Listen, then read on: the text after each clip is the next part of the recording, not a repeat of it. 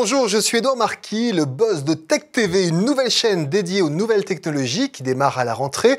Et aujourd'hui, à l'occasion de l'exposition Culture TV, la saga de la télévision française qui aura lieu du 3 juin 2014 au 8 mars 2015 au musée des Arts et Métiers à Paris, j'ai la joie d'accueillir sur ce plateau une brochette d'invités exceptionnels. Cela fait plus de 60 ans qu'il est à l'antenne. Il a presque allumé la lumière dans le poste, toujours présent quotidiennement sur NT1 dans les enquêtes impossibles, et puis aux côtés de Cyril Hanouna sur Europe 1. J'espère bien qu'il mettra aujourd'hui les pieds dans le plat. Monsieur Pierre Belmar. Bonjour Pierre. Bonjour. Il a rejoint France Télévisions en 2010 en tant que directeur de la prospective, de la stratégie numérique, des relations internationales liées aux nouveaux médias. Non, je ne sais plus. Il a été directeur à l'AFP. Comme Madame Irma, pour lui, le futur n'a pas de secret, ou presque. C'est Eric Charrière. Bonjour Eric. Bonjour. Il n'a pas le gilet rouge d'un vendeur de chez Darty. Pourtant, si vous voulez lui demander un conseil sur le dernier moniteur 4K ou Ultra HD, ou bien sur l'avenir de notre bon vieux téléviseur, le directeur du CIMAVELEC, le syndicat qui représente en France tous les constructeurs d'électronique, Samsung, Sony, LG et bien d'autres, Bernard Heger. Bonjour Bernard. Bonjour. Et enfin, il a le droit d'être sur Twitter, Facebook et tous les réseaux sociaux pendant ses heures de bureau. Pas besoin de lui faire un poke ou de le liker puisqu'il est sur ce plateau. Le directeur de l'agence FADA, spécialisée dans les mutations digitales et les nouveaux médias, Damien Douani. Bonjour Damien. Bonjour.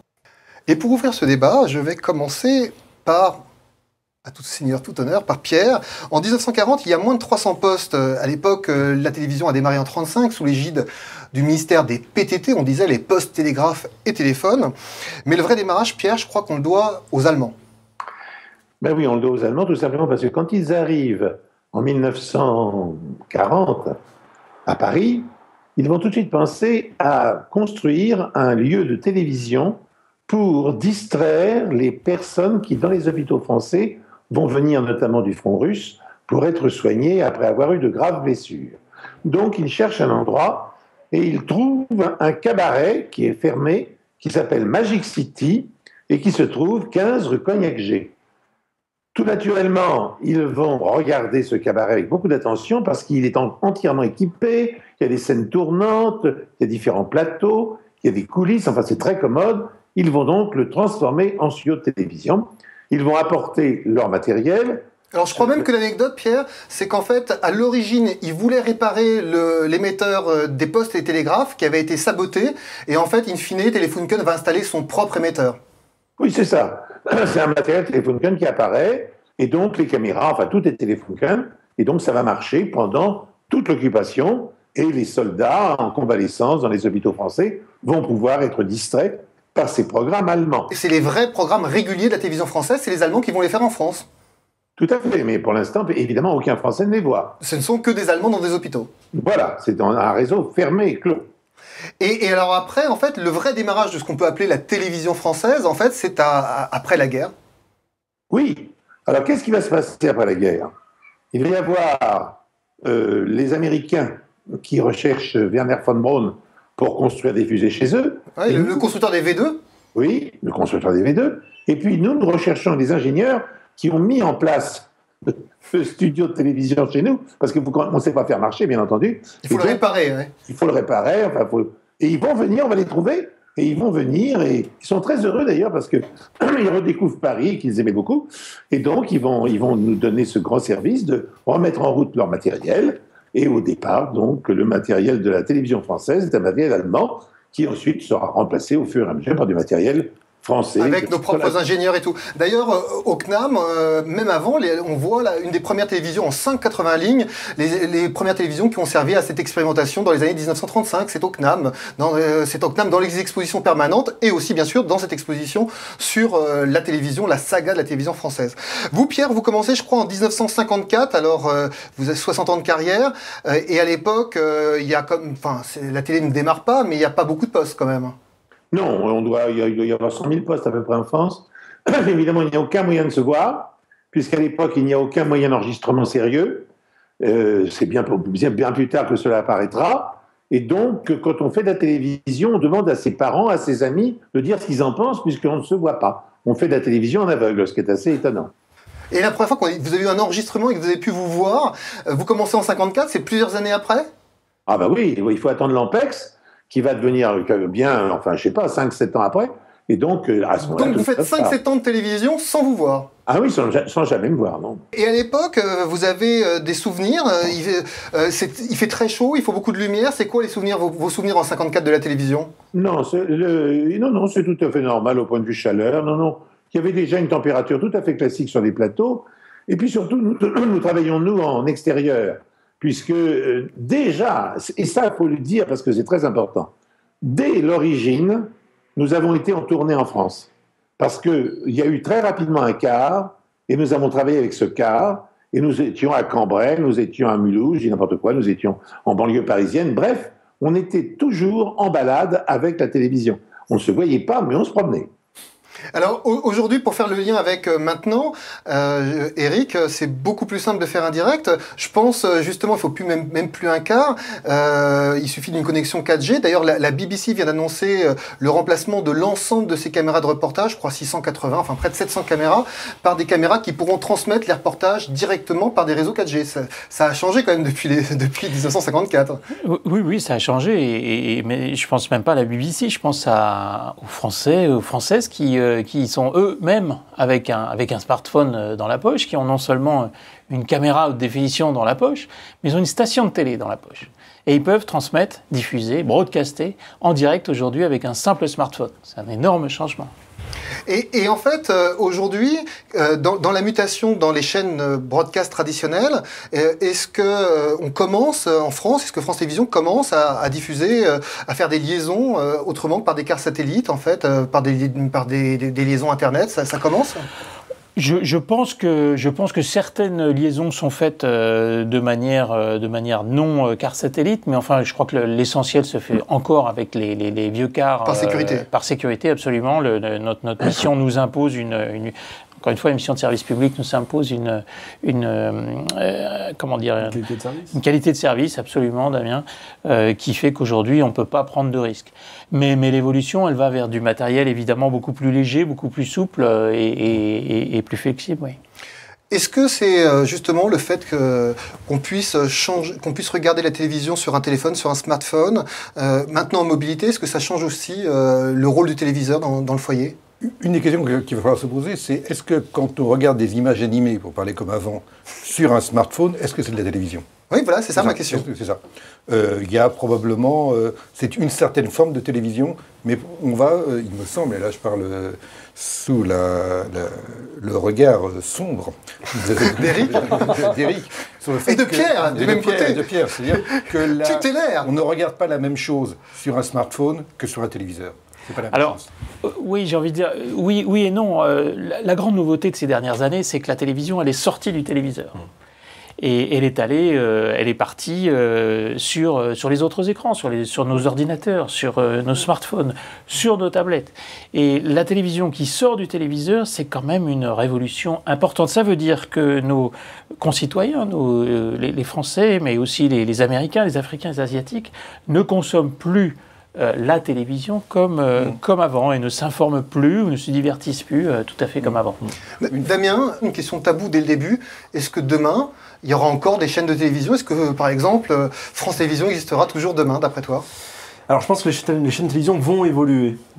Eric donnera peut-être son point de vue après, mais le fait que les nouveaux écrans apparaissent, justement, et le fait qu'on puisse interagir, notamment aussi avec ces écrans et avec les programmes de télé, ce qu'on appelle le deuxième écran, second screen, ce genre de choses-là, font que euh, les chaînes de télé évoluent. On, le voit ben, chez France Télévisions, par exemple France TV Info.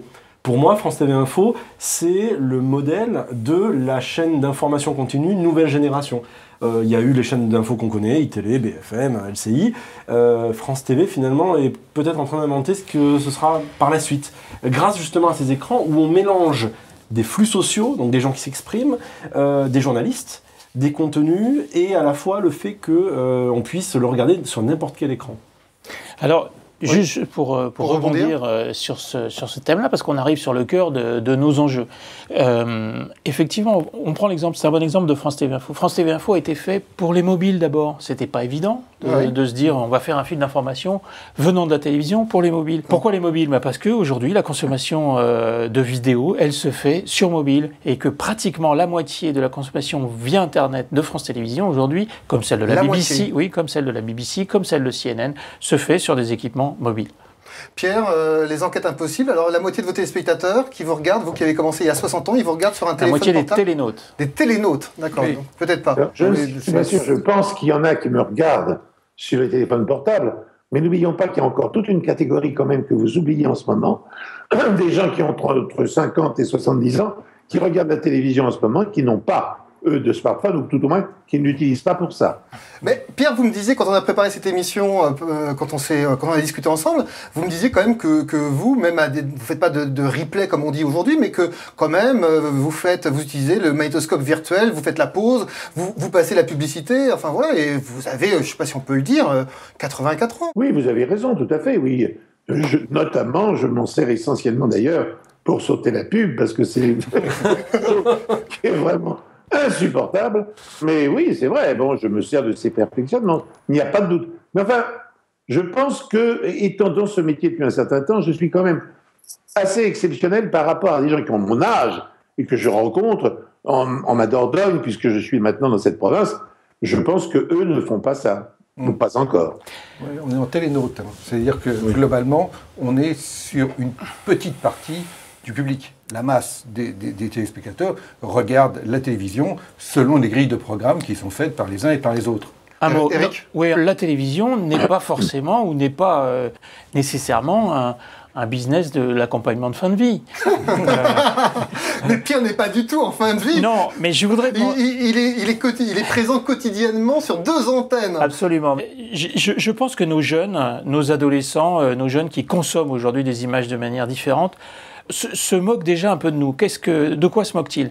Ben, Ils se moquent tout simplement. Est-ce que comment vous avez pu, vous, pendant 50 ans, 60 ans pour Pierre Belmar, attendre 20h30 un programme Comment est-ce possible alors que nous sommes parler, ouais. comme nous on est en mesure de le, de le prendre, de le, de le regarder euh, Ce qui est vrai, c'est qu'aujourd'hui, quand j'étais jeune, Voilà. le jeune, il voulait une télé dans sa chambre. Aujourd'hui, il veut un ordinateur. Il n'y a plus aucun jeune qui réclame une télévision. Dommage, enfin, voilà, dommage pour vos, vos- vos clients. Non, non, non, mais c'est qui- naturel. Mais en même temps, le, jeune, il va regarder aussi la télévision, le téléviseur, hein, le, le grand téléviseur, pour un certain nombre de spectacles qui donnent de l'émotion avec ses parents. Par exemple, on ne, on peut pas regarder, ou on peut le faire, je veux dire, euh, un, un match de foot sur un smart, on peut le regarder, ça, ça peut être très bien. Je veux Ouais, dire, mais c'est en mieux. même temps, c'est mieux quand vous êtes avec tout le monde, quand il y a une émotion collective. Vous me disiez que justement, le- le- il y avait de moins en moins de téléviseurs, pareil quand on a préparé l'émission, mais qu'ils étaient de plus en plus grands. Ils gagnent entre 2 Oui. à 4 cm par an, c'est ça? Oui, ça. C'est-à-dire que avant, c'était le rêve de, de tout le monde, c'était d'avoir plusieurs téléviseurs. Maintenant, vous donnez le vieux téléviseur à, à votre enfant dans sa chambre, c'est-à-dire, euh, il part, il, il, la- il la passe par la fenêtre. C'est-à-dire maintenant, ce qu'il a, ce qu'il C'est un- veut, un smartphone, une tablette, un ordinateur. tablette. Donc le,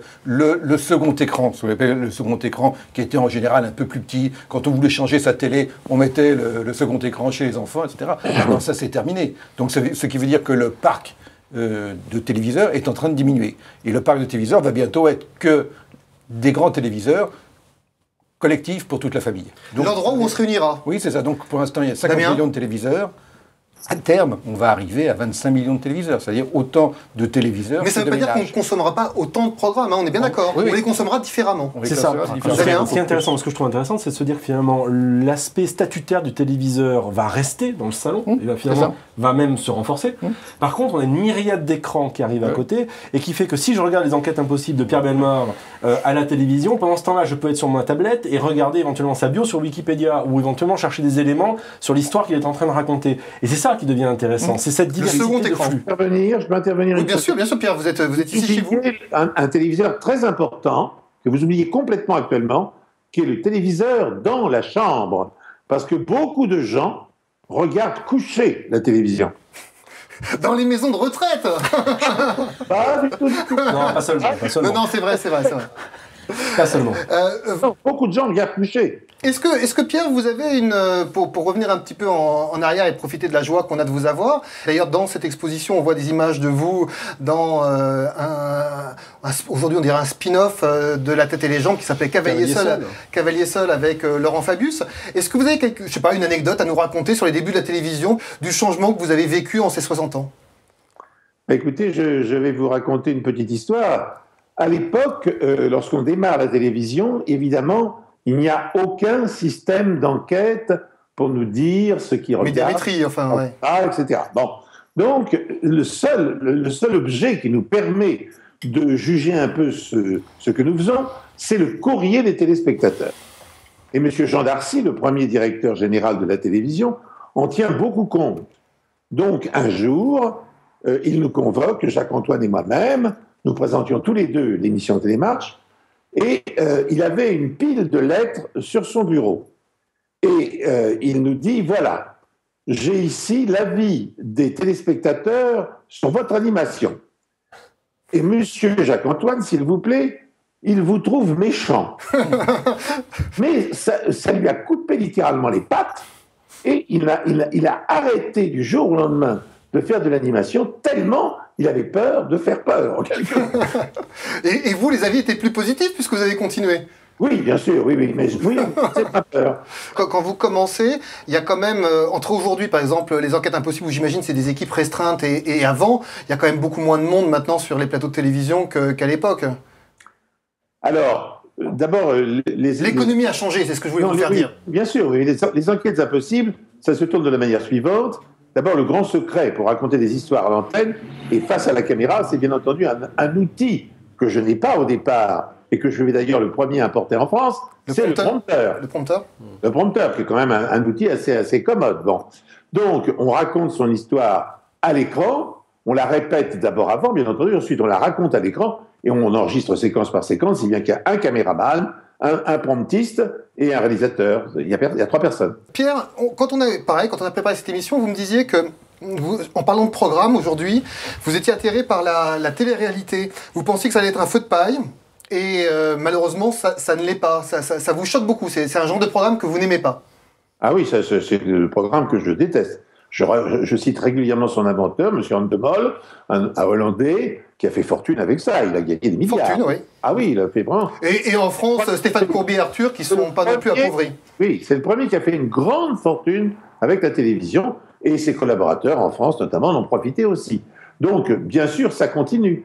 Mais je pense qu'on arrivera. Il n'y a rien à faire. Si ça ne s'arrête pas, si ça continue dans la voie qui a été tracée déjà, nous arriverons au film que nous avions vu il y a des années, où le candidat est poursuivi par des tueurs et si le prix du danger. Voilà. Malheureusement, il n'arrive pas à temps au but, et ben il sera tué. Et on, a, on attendra qu'il soit tué. Et d'ailleurs, une petite anecdote, c'est que le rôle, de, le rôle de Piccoli, je crois qu'on vous l'avait proposé. Euh, et vous aviez refusé pour, pour votre image. Vous aviez peur d'être associé à ce, à ce monstre oui. et vous me disiez que euh, il y avait l'année dernière, il y a eu un mort dans une émission Colanta euh, pour pas la citer, et ça n'empêche pas euh, un concurrent euh, de Monsieur de, de remettre Colanta à l'antenne cette année. Oui, oui, bien sûr, c'est oui, bien sûr. Ça vous choque ça? Oui, ça me choque. Moi, ça me choque parce que je pense que les émissions qui font des blessés et des morts, il faut il faut pas les continuer. Mais bon, mais au contraire, comme on a le goût du sang, c'est déjà le cas. Bon, eh bien, tout naturellement, l'émission continue. On est déjà sur cette voie que je prédis. Eric, si on, si, on, si on, sort deux secondes de la technique pour aller vers le, le contenu, vous pensez vraiment qu'on va vers plus de sang, vers, euh, je sais pas, enfin c'est... Non, mais si, si, si, on veut, on peut, on peut effectivement continuer sur ce que vient de dire Pierre Belmar, il a raison. Euh, dans une période difficile de crise, les, les gens veulent, euh, qu'est-ce qu'ils veulent? Ils veulent du pain et des jeux. Ouais. Bon. Euh, alors effectivement, le rôle du service public n'est pas celui-là. Euh, c'est euh, d'essayer de, de, ne pas répondre à cet appétit-là ou à ce, cette, cette appétence. Ouais. Cette appétence. Et donc effectivement, on ne fait pas de télé-réalité ou, ou, alors, si on en fait, on essaye d'en faire de la, de la télévision, de, de la télé-réalité. Pas d'enfermement en tout cas. En tout cas, oui, mais, mais, mais nos concurrents parfois font aussi de la télé-réalité de qualité. Je pense à des programmes comme, comme The Voice pour faire de la pub à un concurrent et de la télévision de réalité de, de qualité. C'est un télécrochet très classique euh, de, de, de, qualité. On n'en fait pas, c'est pas notre, c'est pas notre. Euh, The, Voice, The Voice euh, est sur plein de chaînes dans d'autres pays du monde, la RTBF, BBC, la RAI, la RAI et tout. Donc il, il, est The Voice est sur des chaînes de service public. De qualité. Quand c'est de qualité, de, qui, qui, Le curseur pour vous, c'est la différence entre l'enfermement, euh, c'est tripé entre entre soi. Évidemment, et, il n'est pas question de faire du voyeurisme, du, du de l'enfermement ou ce type de, de, programme sur le service public, bien sûr. Mais demain, un programme comme The Voice aurait peut-être pu être. The Voice aurait pu être sur le service public. Pierre a dit tout à l'heure, enfin à l'instant, que à l'époque, c'était les lettres des téléspectateurs. Aujourd'hui, est-ce que les chaînes euh, traquent les réseaux sociaux, les tweets pour la popularité des animateurs? L'anecdote de Pierre Belmar est géniale. Elle est géniale parce qu'en fait, simplement, on se rend compte que Rien n'a ré- réellement été réinventé. Simplement, c'est une continuité moderne. Autrement dit, euh, la télé a toujours voulu être interactive avec le SMS, avec le téléphone, avec le SVP 1111 pour ceux qui connaissent. Euh, il y a aujourd'hui, effectivement, il y a le courrier des lecteurs, comme vous disiez, euh, euh, Pierre, il y a quelques instants. Mais Oui. aujourd'hui, effectivement, les chaînes regardent en temps réel. C'est ça la grande différence. En temps réel, ce qu'on dit d'un programme télé. Ils regardent les tendances, ils regardent ce, qu'on- ce qui, est dit sur les réseaux sociaux, notamment sur Twitter, entre autres. Euh, ils regardent ce que les gens en pensent et même ils calquent. Euh, Aujourd'hui, les courbes d'audience sociale, autrement dit ce que les gens en disent, versus ce qui se raconte dans l'émission, pour voir à quel moment les gens réagissent, euh, sur quoi ils peuvent appuyer, etc. Donc, C'est-à-dire, Damien, que, que ce que tu es en train de me dire, c'est que à l'époque, il y a quelques années, on regardait uniquement le médiamétrie pour voir si les gens décrochaient pendant la pub. Mhm. Et maintenant, c'est plus fin que ça. On regarde dans segment par, par le nombre de tweets si euh, tel mo- morceau d'émission a accroché. par le nombre de tweets et ce qui est dit dans ces tweets. Ils savent analyser par les mots-clés et autres. Oui. D'accord. Donc ça, et c'est vraiment la tendance aujourd'hui. Donc on se rend compte que finalement, euh, la social TV est, on va dire, la fille légitime de, de 60 années de télévision, euh, mais, euh, mais version plus plus. Autrement dit, la grosse différence aujourd'hui, c'est que les gens se parlent. Autrement dit, avant, on était chacun sur notre canapé face à une télévision. Aujourd'hui, les différentes personnes Bah, peuvent, peuvent, peuvent se parler entre elles et se donner un avis sur le programme. Pierre, il il travaille tous les jours avec quelqu'un qui s'appelle Cyril Hanouna. Et Cyril Hanouna, il fait partie de cette nouvelle génération, on va dire, bah, comme Morandini ou comme Nikos, qui ont leur compte Twitter Mhm. et qui, chose assez incroyable, répondent. C'est-à-dire, euh, en, en gros, Pierre, euh, Cyril, il répond à des gens qui lui, qui lui posent des questions par Twitter directement. Et, et justement, j'ai une question pour Pierre Belmar là-dessus. Pierre, est-ce que vous trouvez ça bizarre, on va dire, pour un animateur télévisé de faire ça, d'être en contact avec- direct avec son public? Alors écoutez, je suis revenu en direct à, à la radio depuis un an à peu près avec Cyril Hanouna et j'ai été très surpris de voir que Cyril, le moine, tout le monde a euh, l'ordinateur de- ou le, le, téléphone. devant soi et il regarde tweet. Ça, c'est absolument ça. Ils regardent les tweets et c'est c'est important pour eux et ils se guident par rapport à ces tweets. C'est exact. C'est vrai. Ça m'a beaucoup frappé. Moi, je ne. Il y a une réaction immédiate. Oui, oui, bien sûr. Alors, moi, j'ai des réactions par les réactions que j'entends de ci, de là, comme autrefois. Quand vous revenez en Dordogne, votre, votre boulanger qui dit qu'il vous a vu, c'est ça en fait. C'est très important, vous savez. Mais oui, bien sûr, bien sûr. Non, non, mais je, je- la France profonde, elle, a, elle est souvent profonde dans ce qu'elle dit. Mais c'est bien, enfin, ce côté instantané, c'est vrai que ça a tout changé. Oui, ah bah tout à fait. Mais je ne suis pas sûr que ça soit toujours dans le bon sens. Hein. Attention. Eric, sur le côté euh, réseaux sociaux? Oui, mais ce qui est intéressant quand même, c'est que les téléspectateurs n'ont plus besoin euh, aujourd'hui d'attendre le, le- le lendemain matin la, machine à café ou le, bistrot ou la cour de récré pour parler d'un programme.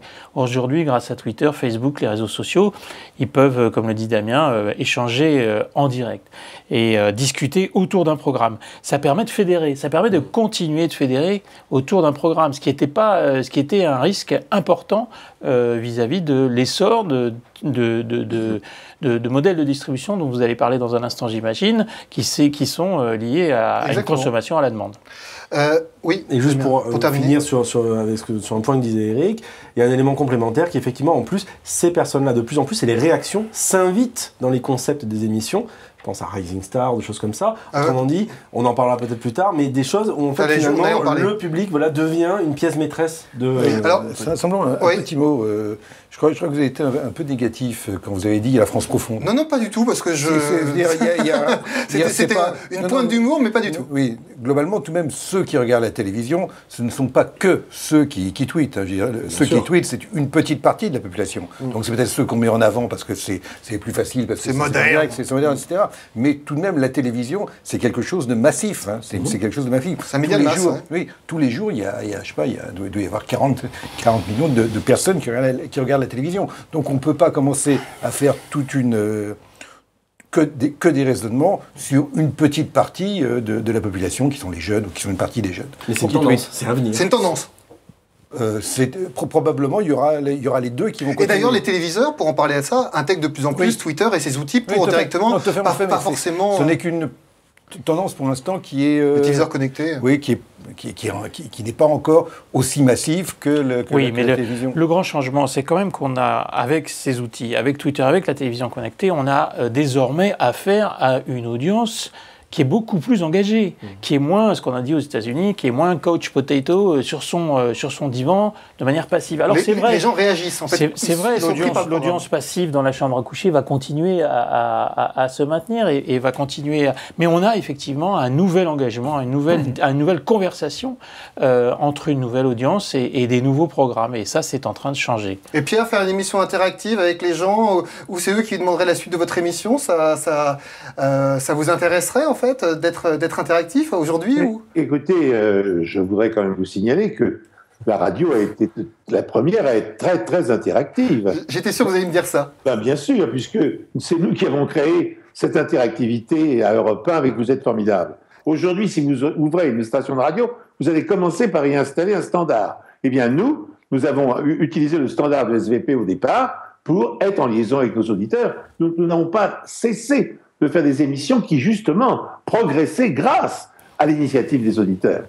Peut-être que c'est plus simple aujourd'hui et, et- et peut-être aujourd'hui il y a une notion, euh, les- ça va changer les économies parce que avant on était dans une logique où il fallait payer des, des SMS, des SMS surtaxés, les services publics en, euh, aussi.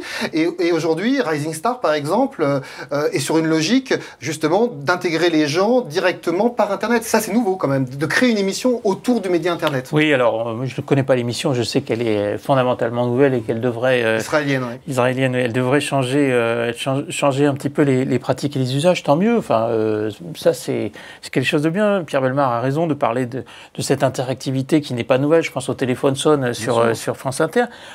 En même temps, en même temps, quand même, quand même, on est dans les médias aujourd'hui un petit peu moins dans une position euh, euh, de, de surplomb ou de magistère vis-à-vis de l'audience. On est un petit peu moins dans une position de je parle, vous, audience, vous écoutez. Vous écoutez, voilà, c'est c'est ça. Ça, hein. c'est Ouais, la différence. Et on est plus dans, un, dans une espèce d'interaction. Les je- commentaires, on est forcé d'en tenir voilà. compte quand Et il y a je 2000 pense que la prochaine étape, plus complexe, pas facile à, à appréhender, ça sera la coproduction. C'est-à-dire Coproduction avec l'audience, c'est-à-dire qu'on va euh, travailler déjà en amont avec les producteurs, euh, avec l'audience, avec des gens Canal qui vont... avait fait un essai sur une fiction où à la fin il demandait d'écrire la suite. Oui, alors Euh, ça, c'est, ça reste de l'ex... mais- Non, mais c'est pas anecdotique, c'est- on expérimente, les gens travaillent, testent des choses. Euh, on est face à, à trois disruptions majeures, vraiment majeures. Alors lesquelles? Bah, les- Tout simplement, le fait que les gens ne regardent plus la télévision comme avant, vous allez en parler, j'imagine, sur Maintenant. la télévision à la demande. On, on- on- Les- on y vient. la télévision ne se distribue plus comme avant, il y a d'autres moyens de la distribuer, et la télévision ne se produit plus comme avant. Euh, d'autres producteurs sont en train d'arriver et qui sont en train de, bousculer tout le marché. Vous avez donc les trois piliers essentiels de la télévision comme des autres médias euh, qui sont en train d'être, qui sont en train de vaciller. Ok, on tourne une page. Nouvelle page dont je suis sûr Pierre Belmar va faire partie de cette nouvelle aventure car il est euh, encore très très très jeune, encore une bonne quinzaine d'années euh, de télévision, hein. c'est comme Michel Drucker, hein, on, on les arrêtera pas. Bernard, est-ce que les écrans, on va vers la 4K Peut-être même euh, plus tard la, la 8K, hein, la NHK a annoncé euh, au NAB, un salon à Las Vegas, qu'ils allaient peut-être même sauter la 4K et en 2020 passer directement à la 8K. Et là aujourd'hui tout le monde euh, parle de la 4K ou de l'Ultra HD. On va pas pinailler sur la différence entre la 4K et l'Ultra HD. Ça c'est la prochaine grosse révolution, on va dire, pour ce qu'on appelle le téléviseur au sens traditionnel où on l'entend aujourd'hui l'objet. hein, c'est ça. Oui, c'est une des révolutions. En plus, c'est pas tellement une révolution, c'est déjà dans, c'est déjà dans la réalité. Il est probable qu'aujourd'hui, pour les écrans un peu importants, hein, là où on voit la différence d'image, parce que sur un petit écran, sur, aucun intérêt. sur un, sur un smartphone, avoir une meilleure, on peut avoir une, une certaine, une bonne qualité d'image, mais avoir au-delà de la une 2K, qualité- euh, oui, ça, ça, ça n'a pas. Donc pour les écrans qui sont, qui sont un, un peu larges, À partir de de 45, 50 pouces, 60 oui, pouces. même 40 pouces, 40 ça- pouces. on peut avoir une, image qui est absolument, qui est absolument remarquable. hein. Et donc là, ce qui, ce qui va se passer, c'est que la, la télévision, le téléviseur en tant que tel, va, va, être- va s'améliorer sur différents points. Premier point, ça va être la grandeur. Je on va avoir des télévisions de plus en plus larges. 2 à 4 cm par an. 2 à 4 cm par, an de, de, de diagonale. diagonale, ce qui- De ce qui est pas diagonale. rien, hein. Ah, ce qui est, qui est considérable. Pour revenir euh, à, à ce que disait euh, M. Belmar, au début, tout début, la télévision faisait euh, 30, 30 cm, 25-30 cm, c'est-à-dire même pas, ou un peu plus Mm. qu'un qu'un- qu'un smartphone. Il y a 10-15 ans, c'est pas très vieux, il y a Non, 10, c'est pas 15 vieux, ans, hein. c'est- ça faisait 60 cm. et ça pesait le poids d'un âne mort. hein. Actuellement, euh, ce, ce qu'ont fait les, les écrans que, que l'on vend actuellement. Derrière, on a un c'est- 75 pouces, Ouais, ça pèse 20 kilos. oui, c'est ça. Non, mais le, le marché aujourd'hui est un marché qui est aux alentours d'un mètre 10, un mètre 20. C'est-à-dire qu'en l'espace de 10-15 ans, on a doublé la taille déjà. Et donc, en plus, maintenant, ça, ça, ça pèse rien, ils sont beaucoup plus design. Donc, il y y a déjà ce, ce- ce point qui est, qui est fait. Et on va aller aussi sur le téléviseur en tant que tel, en tant que matériel. Aujourd'hui, l'écran est noir. Vous avez un grand écran noir, donc vous avez, vous avez un mur qui est tout. De- Avec un, demain, il va être transparent, c'est ça? Demain, il va être transparent. Hein, demain, l'écran va être transparent. Donc, à partir de là, il sera totalement invisible, Oh, sauf quand, sauf Bernard, il y, a- y quand même une nouveauté, c'est que pour la première fois dans l'histoire de la télévision, on va avoir des particuliers qui vont produire des images 4K avant les chaînes de Oui. télévision. Parce qu'aujourd'hui, Ouais. il y a des smartphones qui sortent qui sont Ouais. 4K, il y a des Ouais. caméscopes qui sortent qui sont 4K. Or, euh, France Télévisions, on va en parler là, France Télévisions achève à peine, il y a encore France Mm. 3 est encore en SD. Euh, euh, y a- euh, ce que je veux dire par là, c'est que C'est pas bien d'appuyer là où ça fait mal. hein. Non, mais non mais, ce que je veux dire par là, c'est la première fois où, dans l'histoire de, de ce la où le, le particulier, on va l'appeler comme ça, va produire avant les diffuseurs dans une qualité meilleure que les diffuseurs. Alors attendez, juste, il va pas produire avant, euh, parce qu'on a produit avant, on a fait des En expérimentation, expérimentations. oui, mais- mais... vous avez raison d'ajouter, de, de- de parler de ces deux risques qui ne sont pas des risques qui sont avérés. D'un côté, euh, le public avec euh, les caméras GoPro 4K ou un smartphone va pouvoir tourner, va, on va avoir des images du public qui vont déferler sur YouTube en 4K. De l'autre côté, les Netflix, Amazon, YouTube et autres vont produire, produisent déjà Produisent. en 4K. Et nous, effectivement, euh, broadcasters, nous sommes en train de passer difficilement euh, à cause des coûts. Moi, j'ai vu House of Cards euh, sur mon ordinateur que j'ai téléchargé Absolument. chez Netflix et j'ai vu House of Cards en, en 4K. Oui, oui, moi aussi. Sur mon Enfin, ordinateur. j'ai- vu, j'ai vu ça euh, sur, euh, sur ma télé, parce qu'on peut le faire aussi. J'ai pas de télé 4K. Non, non, pas en 4K, mais. Donc ça va dans le sens de la coproduction, ce que Oui, ça va. Tout à l'heure. C'est en fait le fait que finalement des outils deviennent des outils de qualité, sont mis à disposition des publics et qu'ils vont peut-être à terme pouvoir Alors, ce qui, est, interagir avec les ce qui est intéressant, effectivement, c'est qu'il ne faut pas s'attendre à voir une chaîne passer en 4K euh, d'ici quelques années. C'est absolument impossible. En revanche, C'est-à-dire, c'est quoi le- la roadmap? Non, il y a pas de, la roadmap, tout le monde est en train de regarder un petit peu euh, ce qui est en train de se passer. Il y a de- là de la production en 4K qui démarre, il n'y a pas de diffusion en 4K pour l'instant. Euh, la 4K, elle va passer par Internet. Euh, c'est ça la réalité. Est-ce que c'est pas un risque pour vous, justement, que le nouveau aussi, média. Mais est- on passe Ah, par. Internet. Euh, la télévision par IP, c'est l'Internet. Non, non, Euh, mais c'est pas un risque pour France Télévisions que les nouveaux acteurs. Alors, justement, on- on- alors là, on met les pieds dans le plat. Euh, Est-ce que vous pouvez nous expliquer en un mot aux gens qui nous regardent ce que c'est que l'OTT Par exemple, en- à Pierre? Si vous deviez expliquer à Pierre ce que c'est que l'OTT. Pierre sait très bien ce que c'est que l'OTT. L'OTT, ce sont de- des, des acteurs qui, euh, pour faire simple, branchent directement euh, la télévision à Internet. Netflix, par exemple. Voilà, Netflix ou Chromecast, ces nouvelles clés de streaming qui Ou Canal+, permettent... au Canada. Oui, très facilement, qui vous permettent d'être, de, de relier sans tout un tas de câbles, tout un tas de, de, de- connexions Donc, C'est difficiles. over the top content. Hein, faut- faut- Oui, c'est ce qu'on appelle over the top, c'est au-dessus de la box. Donc c'est une connexion simplifiée, disons simplifiée, parce que pour l'instant personne ne sait bien les faire marcher, pas plus d'ailleurs les vendeurs dans les magasins de distribution. Euh, personne ne sait bien faire marcher sa télévision connectée. Progressivement, tout doucement, ces télévisions, elles vont être connectées à Internet, elles vont être liées à Internet. Et donc on va avoir le début, ça n'a pas basculé encore, mais on va avoir le début d'une hyper-offre d'une hyper-offre de contenus inégaux, de, de contenus de grande qualité, avec de belles émissions, des films, du sport, des contenus de belle qualité qui viendront aussi de YouTube, parce que YouTube aujourd'hui, ce Ouais, n'est pas que du, du chat qui fait Le du qui- skateboard, C'est Euh, ça peut être aussi du chat qui fait autre chose, mais ça peut aussi... Ça peut être Tech TV. Ça peut être, euh, ça peut être Tech TV, mais ça peut être aussi des émissions de France Télévisions qui sont sur YouTube ou sur Dailymotion. C'est drôle parce qu'au début, Canal, France Télévisions ont plutôt essayé d'empêcher la diffusion par YouTube de leur France. Télévisions.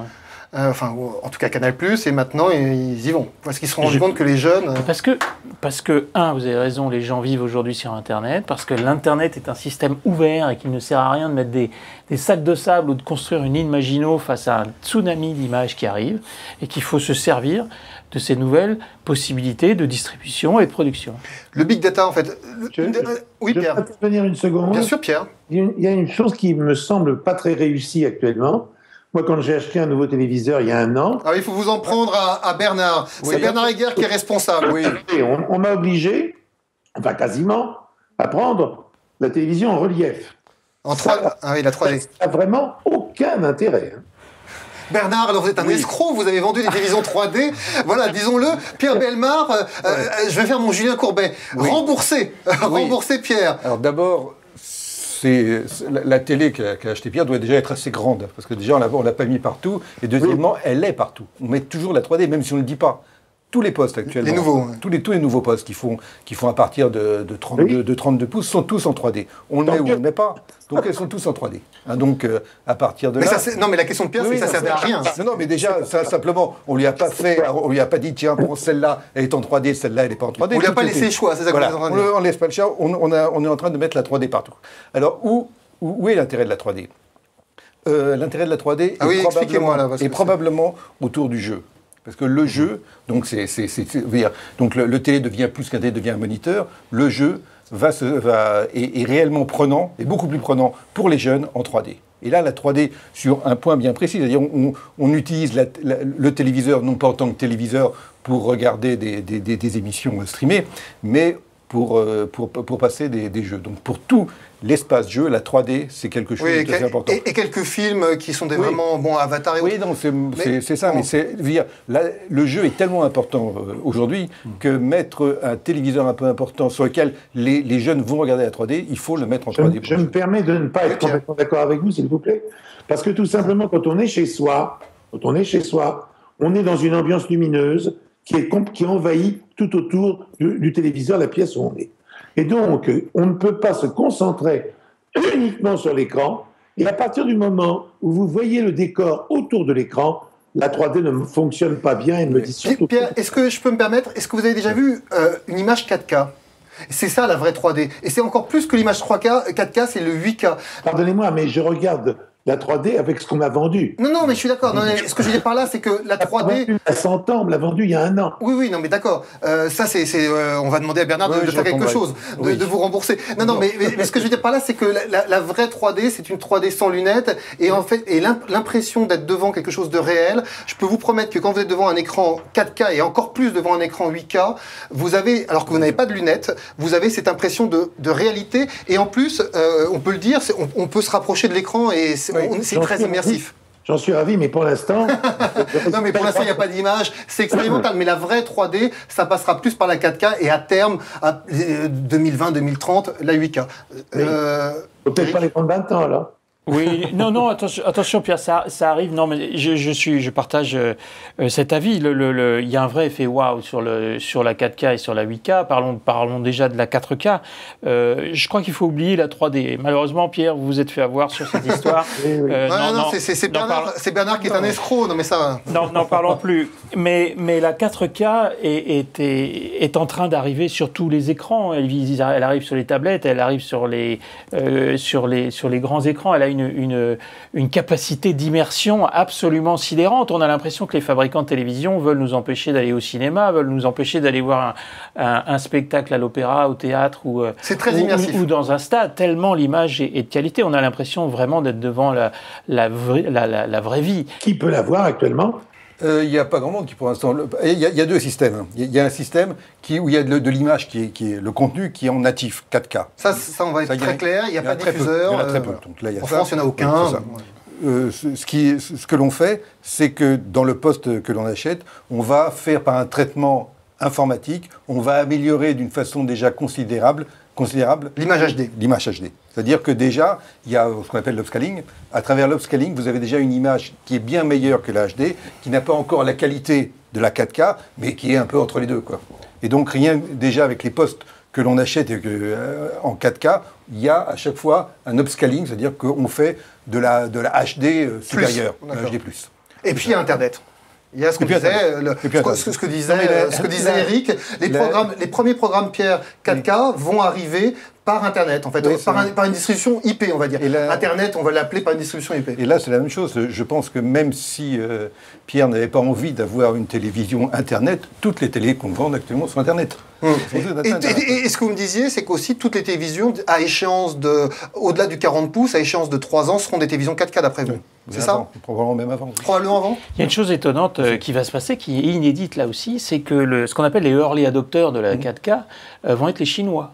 Et non pas les Américains. C'est vrai Ce sont les Chinois qui sont en train de produire ces fameuses dalles euh, de manière massive et qui sont les premiers à les consommer. Donc le premier marché le plus rapide, avec la plus forte croissance sur ce type de téléviseur sont les Chinois. C'est ça que ça va dans le sens de se dire moins de télévision mais plus de qualité. Donc euh, finalement, j'ai un écran euh, central qui va être encore plus immersif, encore plus intéressant pour avoir envie de, de- de découvrir des contenus de qualité. Euh, alors qu'effectivement, on aura des, des- des outils nomades, tablettes, smartphones, qui eux vont être dans un mode différent de consommation. Très souvent d'ailleurs, une consommation, on va dire à la volée, on the fly, autrement dit quand j'ai envie, comme j'ai envie. Et là, on va retrouver ce qu'on appelle le replay, enfin la capacité d'aller regarder les émissions quand j'ai envie. C'est ce qu'on voit notamment aujourd'hui avec les générations à venir, enfin à venir actuelles. Moi, je connais des, des- des- adolescents qui me disent, moi, la télévision, euh, pour moi, c'est euh, c'est Dailymotion, c'est YouTube, c'est c'est en ligne. Je vais regarder le programme quand j'ai envie, comme Eric, est-ce qu'on peut avoir, est-ce que vous avez les chiffres? Par exemple, France Télévisions, c'est quoi la part du replay sur les programmes? Non, je ne les ai pas sous la main, pardon. Euh, ce que je peux vous dire, c'est que à l'horizon de, à l'horizon de la fin de la décennie, je pense que grosso modo, la moitié de la consommation euh, sera faite en- à la demande. La moitié. La moitié. La moitié. La moitié avant la fin de la décennie. Oui. À la fin de la décennie, on pense que la moitié de la consommation de télévision sera faite à la demande. ouais. D'accord. Donc Ça- ça veut dire que c'est- pour vous, pour, pour un groupe comme France Télévisions, c'est un changement très important dans, sa, dans son fonctionnement, dans sa mentalité. Si, il faut s'adapter ou mourir, en fait, en gros, parce que si vous, perdiez la Mais- moitié mais des comme gens... tout le monde, comme tout le monde, cher ami, comme tout le monde. Mais France Télévisions a très bien anticipé les choses avec Plus. Donc, Ouais. euh, C'est un outil qui permet d'aller regarder ces émissions. Oui, et, comme jours. tu le disais aussi au niveau info, euh, avec France TV. Info. Mais en général, effectivement, ce sont des évolutions qu'on voit aujourd'hui sur le marché. La capacité de finalement dire j'ai envie, c'est de la VOD, j'ai envie de regarder le film. Euh, Typiquement, il y, a un film, il y a un film qui est sorti euh, pour le Festival de Cannes sur euh, DSK, qui était uniquement disponible, uniquement 50 000, immédiatement ils en, VOD. Au début, le premier week-end, 50 C'est une révolution. Euh, c'est donc le fait de pouvoir les regarder quand j'ai envie sur des portails de chaînes ou autres comme YouTube, Dailymotion, donc qui ne sont pas détenus par des chaînes, mais par des sociétés euh, qui sont très souvent des opérateurs ou de télécom ou opérateurs internet, euh, d'aller regarder ces contenus-là. Euh, bref, c'est la capacité, c'est- c'est une sorte de délinéarisation. Autrement dit, si le flux était linéaire, autrement dit, à 20h50 ou à 20h30, je regardais, j'attendais de regarder une émission. Aujourd'hui, j'ai envie de la voir quand je veux, comme je veux, et je ne me pose même pas la question de l'horaire. de l'horaire. Je sais. Et puis je vais vous demander une chose, je vous écoute avec amusement depuis un certain temps parce que vous parlez d'une manière totalement incompréhensible. hein, je vous cite. L'expression que vous utilisez, que la moitié des Français ne connaissent pas, c'est assez remarquable. hein. Euh, Alors Pierre, Pierre, est-ce que vous êtes J'ai une question à vous poser, Pierre. Est-ce que vous, euh, vous-même peut-être, vous, vous vous dites, tiens, j'ai envie de regarder un programme, je ne me pose même pas la question de savoir à quel moment j'ai envie de le voir, et vous allez le regarder ou vous dites, j'aimerais pouvoir le trouver facilement. Est-ce que vous, vous trouvez ça naturel, évident? Ou vous regardez encore les programmes euh, à l'heure où ils passent de façon traditionnelle? Voilà, je suis tout à fait bête, je ne suis pas en progrès de ce côté-là. C'est pas une question d'être bête. Ah, hein, Non, c'est pas une question d'être bête. Les programmes quand ils passent, parce que finalement c'est l'heure où je suis libre pour les voir. Autrement, je n'ai pas le temps de les voir parce que je travaille toute la journée. Alors là, je vais vous parler, puisque vous parliez de termes incompréhensibles, je vais vous en donner un autre, le big data, Pierre. Est-ce que Ah vous oui, savez ce que c'est que le big data? Ah non, je ne sais pas. Eh bien, euh, Eric va vous expliquer, ou Damien. En fait, euh, l'un des intérêts de, de Netflix, et pourquoi euh, on craint beaucoup l'arrivée de Netflix en France, Netflix, euh, qui est un système d'abonnement, euh, une fois que vous avez regardé quelques films, va, son moteur de recherche va s'adapter à vous. Et ça, c'est une révolution parce qu'il va vous proposer des programmes qui vous intéressent.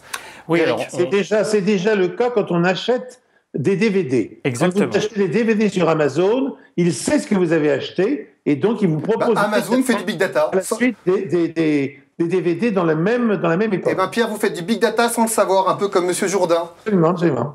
Effectivement, ça a commencé avec Amazon, avec les livres, les DVD, les CD. Euh, et et aujourd'hui, désormais, euh, avec ce qu'on appelle le streaming, c'est-à-dire la capacité de pouvoir consommer en direct ces, ces, ces, ces films ou ces séries. Alors, le- le- la, la puissance, la force de, de Netflix, c'est d'avoir effectivement un moteur de recommandation extrêmement euh, performant. Il faut dire qu'il y a des centaines, des centaines de développeurs qui ne travaillent uniquement Sur ça. sur ce moteur Donc de un gros recommandation. investissement, Un hein, énorme pas- investissement technologique pour permettre euh, au- à l'internaute ou au télénaute euh, de recevoir une recommandation pertinente.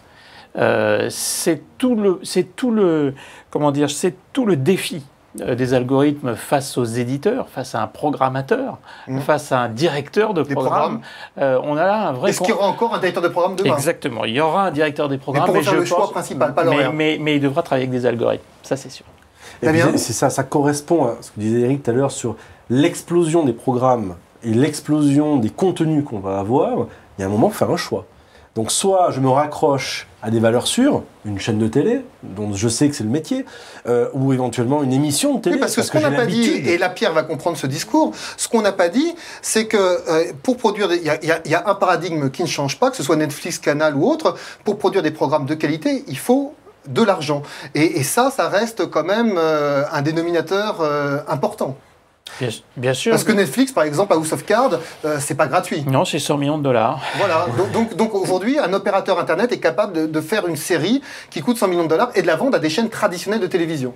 Exactement. Et, et mais aussi de la diffuser en direct, de la diffuser en paquet, ce qu'on appelle euh, euh, pour permettre une consommation à la demande à la demande, à la suite, ce qu'on appelle binger. C'est un nouveau verbe. Je binge. Pierre, encore un, vous, vous bingez ah. maintenant. Je binge, oui. Ah voilà.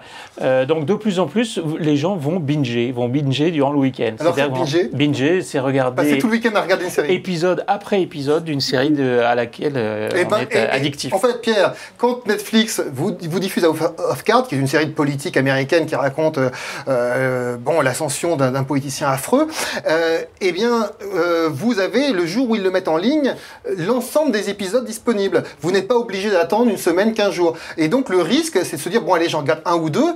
Et puis comme c'est très bien fait, puisqu'il y a des rebonds, il y a plus de pub, mais il y a des rebondissements. Eh bien, euh, le deuxième, vous êtes tellement euh, en manque que vous allez au troisième, au quatrième, et vous avez le risque d'y passer le week-end. C'est ce qu'on appelle l'abrutissement par la télé, quoi. mais sur des programmes de qualité, quand même. Non, objection, objection, objection, objection, objection. Votre honneur. Objection, votre honneur. Quand vous avez un livre. Ah, c'est pareil qu'un livre, Pierre. Vous, quand vrai. vous avez un livre, vous, le, vous, avez la possibilité et la chance de pouvoir le lire jusqu'au bout. Et bien, euh, cette, ces nouvelles formes de distribution nous permettent de regarder une série jusqu'au bout. C'est pareil. C'est exactement ça. On n'a pas le temps le, le, normal, quand on travaille et qu'on est dans la vie normale, de passer 12 heures à regarder le week-end. Le week-end, Pierre. non, sincèrement, j'espère que ça ne se produira pas parce que je. Mais ça se produit. Non, attendez, je crois que ça va. Non, mais peut-être que ça que c'est commencé, j'en suis sûr. Et je crois que ça ne va pas améliorer notre vie, mais au contraire, lentement mais sûrement, la détruire. Damien Moi, ce que je trouve intéressant, c'est de se dire que finalement, c'est possible. Donc après, si j'ai envie de voir un chapitre, plusieurs chapitres ou la Oui, voilà, c'est comme un livre. Moi, quand j'étais enfant, euh, je, je, je, rageais de me dire, je, c'est faut que j'attende. La télévision, un livre, je vous en supplie. Non, c'est pas. Non, d'abord, ce qu'on ce qu parlait, c'est pas une, c'est une série. Hein. House of Cards, c'est une série avec de grands acteurs. C'est pas, c'est pas. Euh, non, non, non, non. Et, et, et c'est la possibilité. Moi, ça m'est arrivé le, très souvent d'ouvrir un livre et de passer la nuit euh, et de faire une nuit blanche pour le terminer. Donc c'est pareil. Il y a un nouveau verbe, spoiler. Qu'en dites-vous? Spoiler. Pierre, spoiler alors.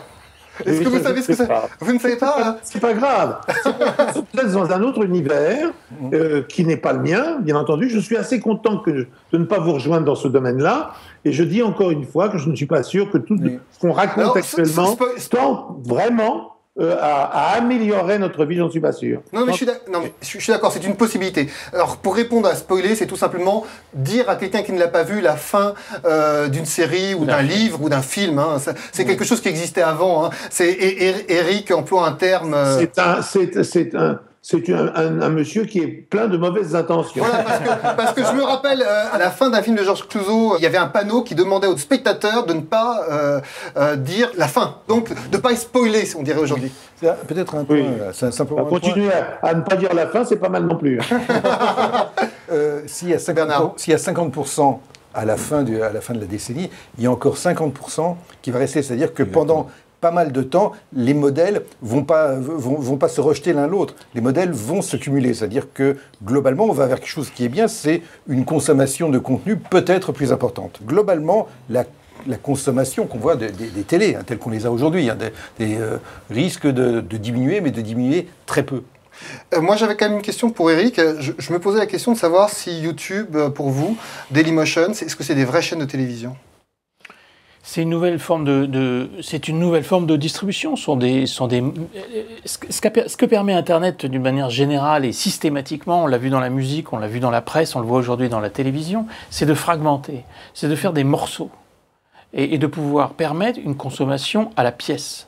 YouTube, ça permet une consommation à la pièce. Elle permet aussi ensuite de la réagréger pour en faire une chaîne, mais c'est pas une chaîne en demain, YouTube... ce n'est pas une chaîne en continu. Ce sont des morceaux, euh, les uns après les autres, mmh. euh, qui constituent de temps en temps une chaîne. Est-ce que vous imaginez que demain, YouTube peut, par exemple, racheter les droits d'un grand événement sportif Oui, bien euh, sûr, c'est euh, un- une possibilité, c'est euh, mondialement. Bien sûr, c'est une possibilité. On peut se retrouver demain matin avec un rachat de droits sportifs euh, Important. très important parce que ces gens ont énormément d'argent, absolument énormément, et, et- et- et se retrouver avec un acteur effectivement très en position, en position, euh, en position dominante.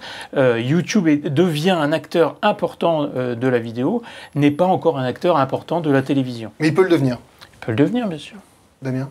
Ce qui est intéressant, c'est c'est de se dire que justement, typiquement une plateforme vidéo comme YouTube intègre une nouvelle dimension qui est euh, la personne qui va regarder, qui peut commenter, qui peut donner son avis, les petits pouces, Ouais, rouge, euh, les commentaires euh, les commentaires. Et donc, on rentre dans cette logique à nouveau euh, euh, d'interaction avec le, le- le- le spectateur, le téléspectateur ou le, le télénote, euh, qui va pouvoir donner son avis. Donc, on, ça va rentrer dans un modèle de big data. Donc, en gros, on va se rappeler ce qu'il aime, ce qu'il n'aime pas, et ainsi de suite. Et là, on voit le, le modèle global qui est en train de se mettre en place. Il faut des années pour ça. On est d'accord, il y aura une coexistence de, de modèles, c'est évident pendant des années. Mais c'est ce qu'on voit, une télévision plus à la demande, une télévision peut-être plus adaptée, pour ceux qui auront envie. Alors, moi, moi, j'ai une fonctionnalité euh, que- dont m'a parlé Bernard qui pourrait vous intéresser. Euh, c'est euh, la possibilité demain, grâce à l'écran de télévision, ce que vous avez dit Bernard, de réunir la famille. Vous, vous avez une petite fille. On peut imaginer demain que grâce à... On va l'appeler Skype, que là on se parle aujourd'hui par Skype. On pourrait très bien imaginer que dans un coin d'un grand grand écran, vous ayez votre famille recomposée et qu'autour d'un événement, un film, vous ayez plein de petites fenêtres et que vous soyez tous ensemble, hein, Oui, Bernard. C'est ça. C'est ça. C'est ça, en fait, en un Oui. mot. Donc, Ça, va le- arriver assez rapidement. Le, télé- le, le grand Et vous téléviseur. trouvez- Est-ce que vous trouvez beaucoup plus mal le fait de se rencontrer réellement? Ah non, non, non. Non, bien sûr que non, c'est pas, c'est non, pas à la place, Pierre. C'est une possibilité, une possibilité. euh, c'est une possibilité supplémentaire. Mais non, vous, quand vous offrez cette possibilité, automatiquement vous diminuez l'autre, mathématiquement. Vous croyez? Mais je crois pas, alors, j'en suis sûr. alors, Bernard, en un mot. Non, ça- ça- simplement, très souvent, les, les familles sont, sont, ne, Sont- ne sont pas euh, dans le, dans le même lieu géographique. Donc là, ça permet, par exemple, vous regardez un match de foot. Donc euh, vous êtes avec vos amis et vous avez envie de voir toute votre famille. Donc il y a le match de foot qui apparaît sur les trois quarts de l'écran et il y a toute la famille qui apparaît. Et donc vous, vous regardez le même événement, le match de foot, mais au lieu de tweeter, etc., vous les voyez avec les mêmes émotions. C'est, le, téléviseur, le grand téléviseur, va être le prochain euh, grand média d'émotion. Est-ce que, est-ce que vous êtes demandé, est-ce que vous êtes demandé si Goebbels avait connu ça, ce serait devenu le nazisme dans le monde? Est-ce que vous êtes déjà demandé ça? Bon, voyez bien l'orateur moustachu qui apparaît dans ce même système avec toute la famille bien réunie autour pour faire des discours dictatoriaux. mais on peut l'éteindre, ce téléviseur. On peut l'éteindre, Pierre, Ah ce téléviseur. mais vous savez bien que le phénomène est le contraire. Et que quand on a inventé ce genre de choses, après ça, ça progresse de Mais manière... c'est- c'était c'était pareil, c'était pire dans les années 60, Pierre, parce que dans les années 60, il y avait tout le monde devant une seule chaîne. À la rigueur, c'était pire en, en 60, tout le monde, on était forcé de vous regarder à une époque.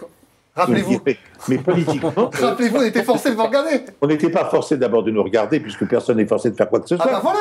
Mais non, mais attendez, non, mais, mais ce- il n'y avait pas cette tendance. Il y a une tendance collective euh, qui n'est pas absolument nécessaire à la télévision. Je suis désolé, c'est pas nécessaire. La télévision est en, en fait un spectacle qui était individuel au départ. Bon, alors qu'on la regarde en famille, tant, tant mieux, je ne vois pas d'inconvénient. Mais on n'a pas besoin des 250 autour d'un poste de télévision pour apprécier un match de football. C'est complètement inutile. Ça ne sert à rien. Damien? Alors, ça, ça ne sert à rien. Euh, moi, je trouve intéressant quand même de se dire qu'on peut, si on a envie, partager des émotions. Et partager des émotions, pourquoi pas sur un écran, pourquoi pas par Internet, sur des tweets, enfin, des choses comme ça. Mais c'est savez complémentaire. très bien que lorsque c'est mis à la disposition d'un grand public, quand quand c'est mis à la disposition, eh bien, vous ne pourrez plus faire autrement. Mais c'est une évidence. À partir du moment où votre famille sait qu'on peut se réunir dans un seul, sur un seul écran, eh bien, c'est ce qui se passera. Vous serez obligé d'y aller. Il n'y a rien à faire. Moi, je voulais qu'on évolue, Pierre, pour, euh, pour aller vers la fin de ce débat. Et euh, je voulais demander à Eric, euh, comment vous, vous voyez en un mot les, les- les prochaines étapes et l'avenir d'une chaîne traditionnelle, en fait, comme, le groupe dans lequel vous êtes, France Télévisions, NT1 sur laquelle est, Pierre, une radio comme Europe 1, enfin, vers quoi on va? On va effectivement avec, vers plus de consommation à la demande par rapport à une consommation classique euh, délinéarisée. On va vers euh, une consommation, ou en tout cas une, offre plus immersive, la 4K, peut-être la 8K, donc une, des, fonctions de qualité de, l'image beaucoup plus spectaculaires. On va plus vers de la coproduction avec euh, tout un tas de, nouveaux acteurs, les nouveaux acteurs de la distribution, de la production et, de la consommation. Donc on, va vers, un, on va vers un- une nouvelle, de nouvelles formes de télévision.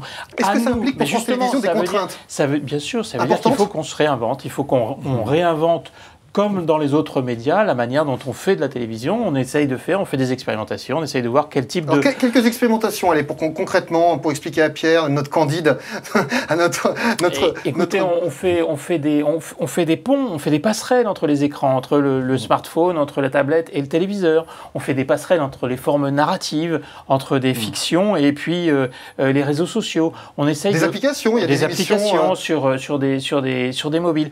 On est dans l'expérience, on est au début d'une nouvelle aventure et c'est ça qui est enthousiasmant. qui est pour- passionnant. ouais. Ouais, ouais. Et cette nouvelle aventure, elle peut, Pierre, avoir ses bons côtés comme, euh, comme, Oui, comme- tout à fait. comme c'est mauvais. Tout à fait, mais je vais, je vais vous signaler une toute petite chose. Une petite chose, c'est vous venez de m'appeler Candide. C'est-à-dire que vous avez cherché un homme de 85 ans pour le traiter de encore Candide. 84 Attendez, attendez, attendez. Alors que le Candide était quelqu'un de jeune, vous êtes bien d'accord, et d'inexpérimenté. Et maintenant, c'est nous qui, à 85 ans, devenons Candide. Eh bien, ça, ça révèle exactement le problème d'aujourd'hui. Non, mais sur les nouveaux médias, sur la, sur la télévision traditionnelle, vous êtes tous sauf un candide. Vous êtes quelqu'un qui est. Voilà, vous êtes tous sauf un candide. Euh, on, on va conclure euh, d'un mot. Euh, Damien, euh, sur le sur, sur l'avenir, euh, les réseaux sociaux, ça va prendre de plus en plus de place. Et Pierre, vous avez un Twitter? Pardon Vous avez un Twitter Non.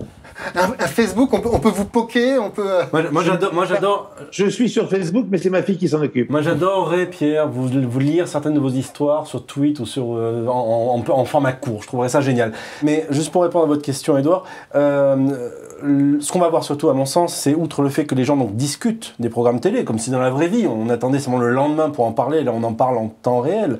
Euh, comme Pierre disait, euh, on recevait le courrier et on regardait ce que les gens en disaient. Ben maintenant, on peut le savoir en temps réel. Euh, ce qui est intéressant, c'est l'étape d'après. C'est la coproduction. C'est le fait de se dire comment, euh, comment les choses peuvent évoluer si je mets au centre du système le téléspectateur euh, et qu'il peut interagir avec moi. On a parlé plusieurs fois de Rising Star, qui est une sorte de The Voice dans lequel le téléspectateur Il va voter pouvoir directement. voter en temps réel et donc donner son avis sur la personne qui chante. Euh, c'est chose apparaît sur l'écran et c'est quelque chose qui, oui, voilà, il va apparaître. C'est assez intéressant parce que pour la première fois, on va briser ce mur de verre, de la lucarne entre le téléspectateur et le et le et, et les- et l'émission. Euh, pour moi, c'est la continuité de la quête de la télévision, qui est l'interactivité que Pierre a fait déjà dans- depuis des années dans, dans ses différents programmes. Et c'est ça qui va être assez intéressant à regarder. Euh, sur le faites-nous rêver pour, en un mot sur des, des nouveaux produits demain les écrans ils seront quoi? Ils seront transparents ils seront souples l'OLED Euh, euh, souple, je ne sais pas, sert- ils seront grands, hein, d'abord. Donc, étant, étant grand, on pourra les regarder de, de plus près, euh, meilleur et, la, et, et le contenu, plus près on peut, on peut regarder. C'est-à-dire qu'actuellement, avant, on disait qu'il fallait être 3-4 fois la diagonale d'écran. Maintenant, à- il faut être à 1 mètre, 1 mètre 50 du, du téléviseur et c'est là qu'il qui, qui rend le mieux. Donc, déjà, la qualité va, va, va correspondre à la qualité du logement. donc ça permettra dans une pièce plus petite de mettre un téléviseur plus grand si on se Un comprend bien téléviseur plus grand, c'est ça. Et euh, l'idée aussi, c'est, euh, on revient à quelque chose d'im- d'important, c'est la télévision, ça a toujours fait rêver. C'est un, c'est un- c'est un média de rêve. Et donc là, à partir de là, vous avez une qualité, vous allez avoir une qualité d'image. S'il y a une qualité de contenu en plus, ça va être vraiment un outil de rêve. Et on, on va retrouver probablement ce pourquoi la télévision a été faite au, au tout, tout à fait au début, par rapport même à ce que, à ce que disait Pierre au tout début, c'est-à-dire quelque chose qui vous permet de vous échapper. On est à un mieux. nouvel âge d'or, au début d'un nouvel âge d'or de, la, télé. On en est, C'est ça. convaincu tous ici. C'est ça. Oui, moi aussi C'est la, c'est- veut dire, la, la vous voyez télé Pierre c'est positif tout ça La télé redevient un élément de rêve. Euh, c'est votre opinion. c'est votre opinion. Que la télé redevient un élément de rêve, je crois qu'il y a des éléments de rêve beaucoup plus puissants que la télévision. C'est des choses justement qui ne sont pas attendues. Alors que maintenant, tout est très attendu à la télévision. Il n'y a plus vraiment de surprise à la télévision. Les programmes sont stand- d'un standard absolument ça c'est épouvantable. pas faux hein Alors, euh, Ouais. c'est pourquoi le rêve, il est non pas positif actuellement, mais négatif. Si ça se retourne, j'en serais ravi. Mais pour l'instant, ça n'en prend pas le chemin. Eric un dernier mot? Je pense que le- les- les- la combinaison euh, de, de, de la prise de contrôle de l'internaute, du télénaute, du citoyen euh, sur, euh, sur, à la fois sur les- son expérience, euh, la combinaison de contenus de qualité qui vont arriver en, en- en très grande abondance, avec aussi des contenus de, de beaucoup moins bonne qualité. À nous de savoir faire le tri, à nous d'aider le public à faire un le, tri. chat, entre le chat et la gamelle du chat sur, sur Non, mais- YouTube et euh, Ce sera le travail des chaînes, des éditorialistes, de savoir aider Les aussi à trouver des programmes éditeurs, intéressants. effectivement, à faire le tri, à, à- à réduire le bruit, d'int- à réduire le bruit d'aujourd'hui et à amener des programmes de qualité, bien sûr. Donc c'est le rôle, par exemple, de France Télévisions ou même de TF1, euh, on va dire, de, grands, de grands médias, ça va d'amener du sens en fait, c'est ça que vous êtes en train de me dire La quête du sens, euh, ça, ça va En tout revenir cas, France Télévisions, c'est notre mission. oui.